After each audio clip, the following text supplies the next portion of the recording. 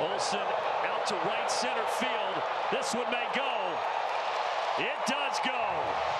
Matt Olson, another homer, 26 on the season.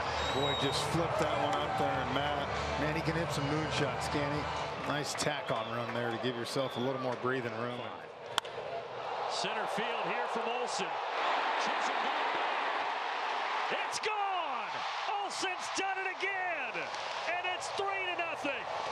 That is his ninth homer in his last 12 games. Leading the league in homers and RBIs. And it's the Braves here in the bottom of the first inning doing some raking versus the Central right. cycle. Olson, left center field. Bye-bye. Look out, Ohtani. He's just one behind you now. Matt says, forget your cycle. I'll just go big fly again. Fourth home run for the Braves tonight. Matt Olson has left the building. That is a no-doubter.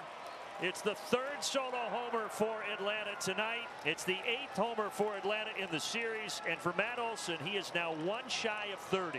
How about put a 70 by the RBI total for Olson? What a Right field. Gone. Grand slam. 30th of the season for Matt Olson. If you're the White Sox, this is just nightmare fuel right now. Kopech cannot find the zone, and the one pitch that he does is obliterated. What a start for this Braves offense already in the second half, and we're not even an out into it. The Braves, as you have heard time and time again,